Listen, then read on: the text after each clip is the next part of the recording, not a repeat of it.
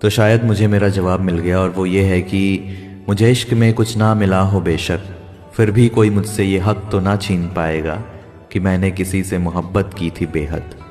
हाँ ठीक है, जो समझ ना आया इश्क मेरा किसी को, या करके इश्क शायद मुझसे वो निभा ना पाया हो, पर भागते वक्त के साथ मेरी बदल रही ज़िंदगी में वो एक चीज़ तो शायद वैसी ही रह जाएगी, उसी स्वरूप में, जिसे रह जाते हैं निशान, अपमान, वरदान और ठीक उसी तरह रह जाएँगे मेरे साथ उस वक्त की मुस्कुराहटे, खोखले वादे और शायद टूटा हुआ मेरे मन का एक हिस्सा, जो शायद कभी नहीं जुड़ेगा और ना मेरी तनिक भी इच्छा है जोड़ने की उसे।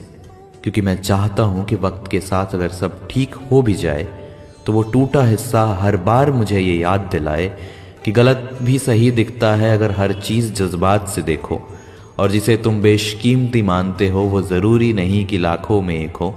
हर इंसान साथ देने ज़िंदगी में नहीं आता है। अक्सर वही तकलीफ़ देता है जो तुम्हारे मन को भाता है। बुरे वक्त से अगर सीख ले ली है तुमने तो वक्त वो बुरा नहीं है। तुमने अगर निभाया था तो प्रेम तुम्हारा अधूरा नहीं है।